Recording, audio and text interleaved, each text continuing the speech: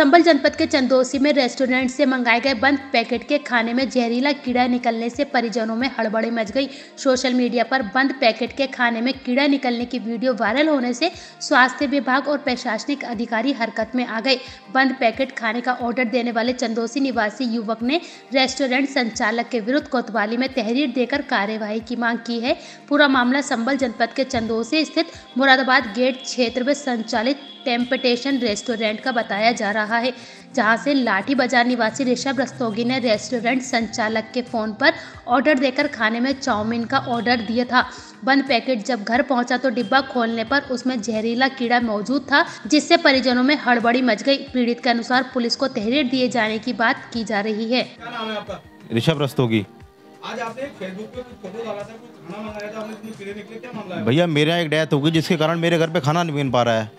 जब खाना नहीं बन पा रहा है तो बाज़ार से मैंने खाना मंगाया टेम्पटेशन से एक पेटीज आलू पेटीज और एक चाउमीन। जब मैंने चाउमीन को खोला तो उसमें मरे हुए कीड़े निकले हैं। अब एक तो भैया डेंगू चल रहा है ऊपर से अगर मैं इसे खा लूँगा मर जाऊँगा तो कौन इसका मतलब जिम्मेदार होगा या मुझे फ़ूड पॉइजनिंग हो जाएगी कौन निपटेगा? आपने कहीं शिकायत दर्ज कराई है? जी सर शिकायत दर्ज कराऊँगा कराई नहीं है अभी। मैं अभी एफआईआर जा रहा हूँ देने कोतवाल साहब को।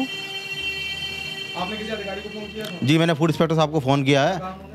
उन्होंने कहा मैं जाँच करूँगा और शायद जाँच हुई है नहीं हुई है मेरे को नहीं पता। ये खाने की सामग्री आपने कहाँ से मंगाई? ये मैंने पॉकेट मॉल के माध्यम से टेम्पटेशन रेस्टोरेंट है चंदौसी में एक उससे मंगाई थी। है ये? इधर क्या बोलते हैं इसको तो हुसैनी बाज़ार है ये हुसैनी बाज़ार और मुरादा गेट के बीच में पड़ता है। पुलिस चौकी बराबर में।